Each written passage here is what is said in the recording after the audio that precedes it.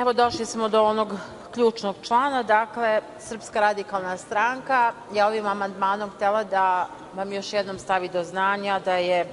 apsolutno nepotrebno uvođenje ovog ministarstva za evropske integracije, a ja ću to da obrazložim na još jedan dodatni način. Naime, poštovane kolege, kroz istoriju srpskog naroda, viševekovnu istoriju, nam se pokazalo da je bilo različitog pokušaja da se istrgne iz sastava Srbije Kosovo i Metohija. Uvek smo tome odolevali i naš narod je činio sve da se zaštiti kolevka srpskog naroda.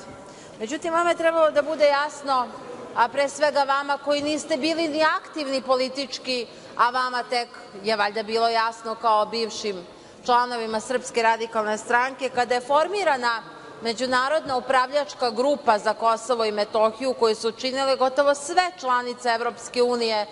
na čelu sa Amerikom, da će učiniti sve da nam istrgnu iz našeg teritorijalnog integriteta Kosovo i Metohiju. Onda je usledilo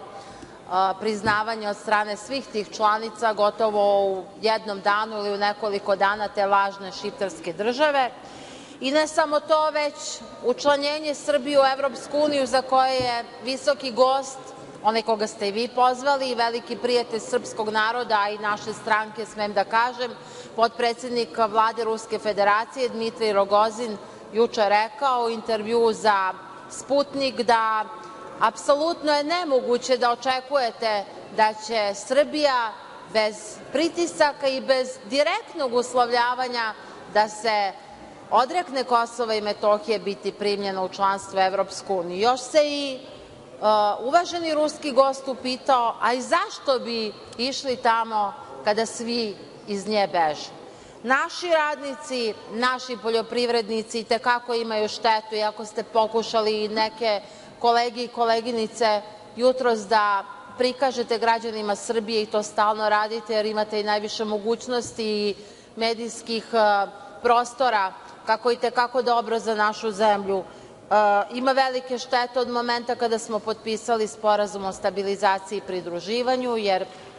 preko po osnovu carina pola milijardi evra i više, ne znam koliko je samo za prošlu godinu, to ekonomisti bolje znaju, Srbija je izgubila samo po tom osnovu. Da ne govorim o tome da i te kako sve te zemlje koje imaju takav neprijateljski stav prema nama kada je u pitanju očuvanje naše teritorije imaju blagonaklon odnos prema Hašimu Tačiju, koji sa druge strane na teritoriji Republike Srbije milijarde evra otima svake godine i na desetine ili stotine hiljada hektara. Prema tome, gospođo Gojković, dame i gospodo narodni poslanici,